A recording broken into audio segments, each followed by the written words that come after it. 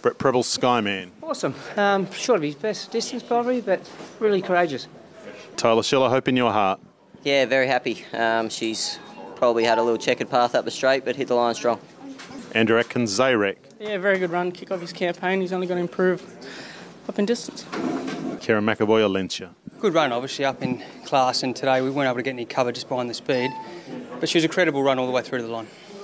Chad Schofield, My Oberon. Um, yeah, I thought it was a terrific run. Annabel's really got him flying.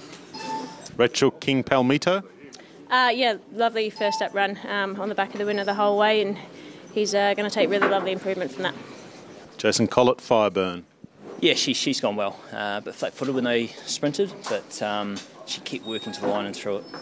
Sam Clipperton, Glowing Global. Yeah, really nice run. She managed to keep a lid, lid on her temperament pre-race and um, looked a little bit flat-footed at the top of the straight, but going to improve second up up over a mile.